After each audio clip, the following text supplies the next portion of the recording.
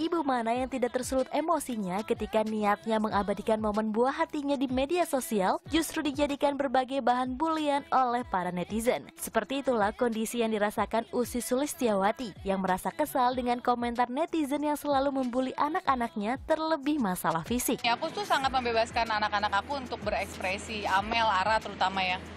Bahkan di Instagram tuh sering banget dibully, misalnya kayak, kok ini anaknya nggak didandanin, nggak dandan. Ya karena anak aku masih 13 tahun dan aku pengen anak aku tumbuh sewajarnya anak-anak. Jadi dan aku sakit hati banget, aku baperan banget sih sejujurnya kalau misalnya ada yang, kok Amel eh, badannya gendut, kok Amel nggak makeup.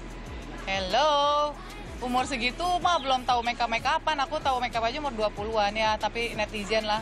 Ya itu aja sih. Aku nggak pernah misalnya Amel Amel harus pakai bedak pakai bulu mat apa penjepit bulu? Non nggak pernah sama sekali. Jadi aku pengen anak-anak aku tumbuh sewajarnya senormalnya anak-anak.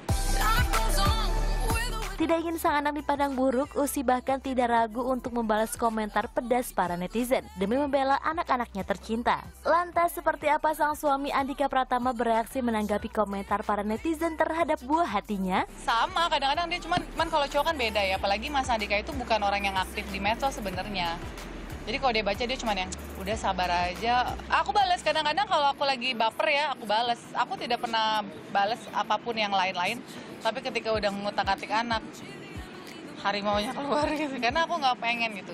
Eh, mereka kan nggak tahu menau apa-apa. Tapi aku nggak pernah gara-gara begitu terus aku langsung bilang sama Amel Amel harus diet ya Amel harus cantik harus kurus. Enggak.